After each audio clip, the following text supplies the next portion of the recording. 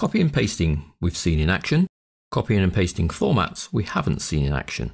And to carry out the copy and the paste of just the formatting of a cell, not the contents, we use the Format Painter. Now the Format Painter is this little brush icon here on the home ribbon. We're going to use the sales data F file. And you'll see in here we have January that we've given some colours and changed the alignment and formatted the cells, etc.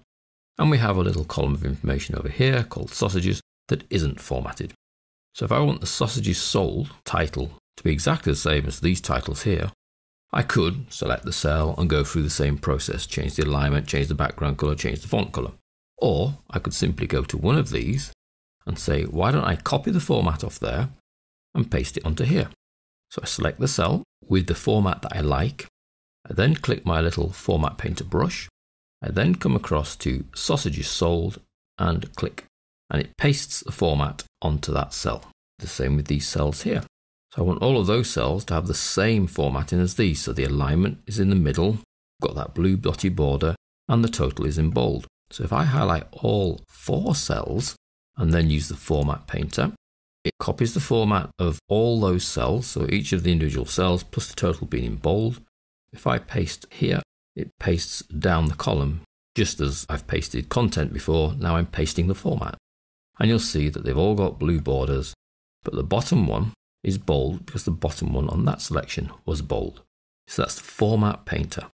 Now if we look at February, You'll see that that's got some sales figures in. It's the same makeup as January.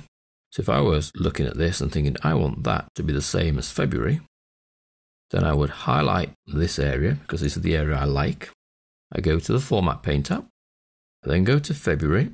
Now, in theory, we could just click top left and it would paste all the formatting, but that actually wouldn't work in this case because we've got that merge cell at the top.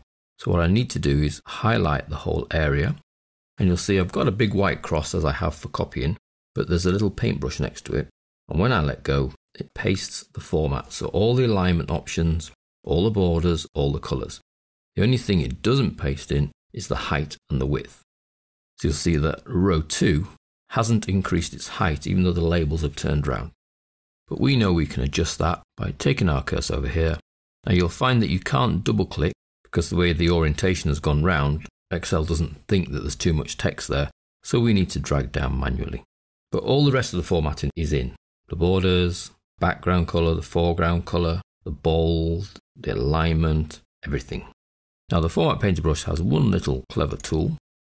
If we go back, say to here, and I want that format, but I actually want to paste it in more than one location, well we do that by selecting the cell with the format that we like, this time double click the Format Painter, and what you'll then find is if I then click on a cell, paste the format, but retains the memory of that formatting so I can continue pasting it on every cell I then click on. How do I now stop it from pasting the exact same format onto every subsequent cell? Well, that's fairly straightforward. We just press escape on the keyboard and that cancels the format painter.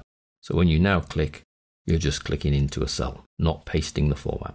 So that's Format Painter brush. It's on the home ribbon. You need to click on the cell with the format that you like, then click the brush, then go to the destination cell and it will paste the format straight onto that cell.